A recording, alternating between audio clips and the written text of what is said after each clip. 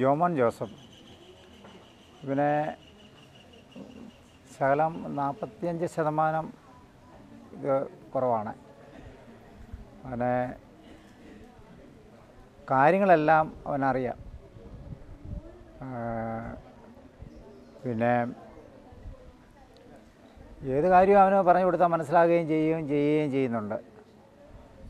പിന്നെ അവനെ പാട്ട് പാടാനറിയാം ചെണ്ട കൊട്ടാൻ അറിയാം പിന്നെ ഡാൻസ് കളിക്കും. പിന്നെ അവനെ ബാൻഡ് സെറ്റിന് പോകുന്നുണ്ട്. അവനെ അവന്റെ സ്പെഷ്യൽ സ്കൂളിൽ അവനെ ഡാൻസ് ബാൻഡ് സെറ്റിന് പോകുന്നുമുണ്ട്. പിന്നെ മറ്റ് കുഴപ്പങ്ങളൊന്നുമില്ല. മരുന്നുകളൊന്നും കഴിക്കുന്നൊന്നുമില്ല. പറഞ്ഞു കൊടുത്ത ഏത് കാര്യം അവൻ ചെയ്തോളും.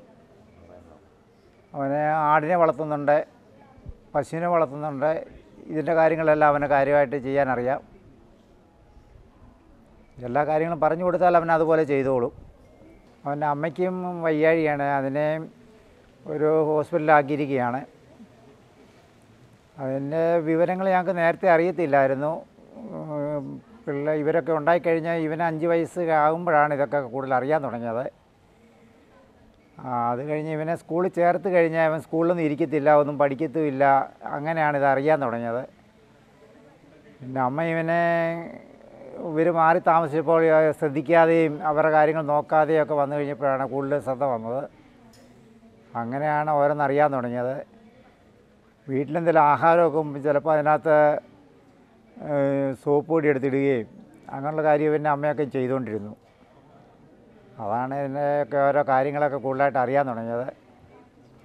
പിന്നെ അതിനെ ഇവന്റെ അമ്മയെ അവരുടെ വീട്ടിലങ്ങ് വിടുകയായിരുന്നു. അഞ്ച് വയസ്സ് കഴിഞ്ഞാൽ പിന്നെ അവരുമായിട്ട് അമ്മയായിട്ടുള്ള ബന്ധങ്ങളോ കാര്യങ്ങളോ ഒന്നും ഇവനില്ല. ഇവനെല്ലാം നോക്കുന്നത് എന്റെ കൂടെ നിന്നാണ്. അങ്ങനെ വഴക്കോ കാര്യങ്ങളോ പ്രശ്നങ്ങളോ ഒന്നുമില്ല പറഞ്ഞാൽ അനുസരിക്കുകയൊക്കെ ചെയ്തോളും. മോളുടെ പേര് നമിത എന്നാണ്. അവൾ ഇപ്പോൾ അവളുടെ ഏറ്റവും വലിയ ആഗ്രഹമായിരുന്നു മാജിക് പ്ലാനറ്റിൽ വരണം എന്നുള്ളത്. മോളുടെ പ്രോബ്ലം എന്ന് പറഞ്ഞു കഴിഞ്ഞാൽ സിക്സ്റ്റി ഫൈവ് പെർസെന്റേജ് ആണ് അവളുടെ disability A D H D learning disability ഒക്കെയാണ്. അത് ആക്ച്വലി വരാനുള്ള റീസൺ എന്ന് പറഞ്ഞാൽ അവൾ ഡെലിവറി കഴിഞ്ഞപ്പോൾ ഒരു ഫീവർ വന്നിട്ട് ചെറിയൊരു ഫിറ്റ്സ് വന്നിട്ടാണ് മോൾക്ക് ഇങ്ങനെ ഒരു ബുദ്ധിമുട്ടുണ്ടാവുന്നത്. പിന്നെ അതിനുശേഷം ഒരു രണ്ട് രണ്ടര വയസ്സൊക്കെ കഴിഞ്ഞപ്പോഴാണ് ഇത് ഞാൻ ഫൈൻഡ് ഔട്ട് ചെയ്യുന്നത്. പന്ത്രണ്ട് വയസ്സ് വരെ ഒരുപാട് അവൾക്ക് ബുദ്ധിമുട്ടുകളുണ്ടായിരുന്നു. അങ്ങനെ അവൾ കല്യാൺ സ്കൂൾ എന്ന് പറഞ്ഞിട്ടൊരു സ്കൂളിൽ വിട്ട് അവിടെ നിന്ന് അവൾ ഒരുപാട് കാര്യങ്ങൾ ഡെവലപ്മെന്റ്സ് ഉണ്ടായി. അവൾക്ക് സ്പീച്ച് തെറാപ്പിയൊക്കെ കൊടുത്തിട്ടാണ് അവൾക്ക് ഒരുപാട് മാറ്റങ്ങൾ വരുന്നത്.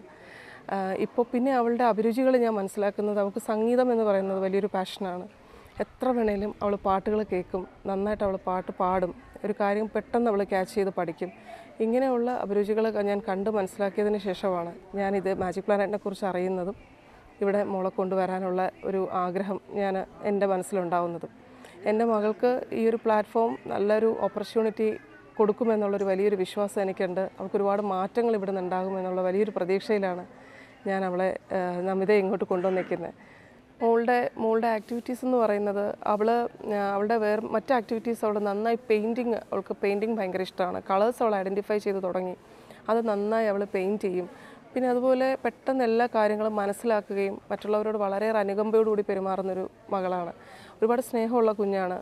എല്ലാവരോടും പെട്ടെന്ന് അടുക്കുകയും എല്ലാവരും ഒരുപാട് ഹെൽപ്പ് ചെയ്യുകയും അവൾക്ക് എന്തെങ്കിലും ഒരു കാര്യം കിട്ടിയാലും അത് അവൾ ഷെയർ ചെയ്യാനുള്ളൊരു മനസ്സും ഇങ്ങനെയുള്ള ഒരുപാട് ഗുണങ്ങൾ നമിതയ്ക്കുണ്ട് എന്നെ ഒരുപാട് സപ്പോർട്ട് ചെയ്യുന്ന ഒരു കുഞ്ഞാണ്. അവൾ എനിക്ക് എന്തെങ്കിലും ബുദ്ധിമുട്ടുണ്ടെങ്കിൽ തന്നെ അവൾ എന്നോടത് ചോദിച്ച് മനസ്സിലാക്കി അവൾ എനിക്ക് അത്രത്തോളം ഒരു സ്ട്രെങ്ത് തരുന്ന ഒരു മകളാണ്. ശരിക്കും ഐ ലക്കി മോം എല്ലാ അർത്ഥത്തിലും.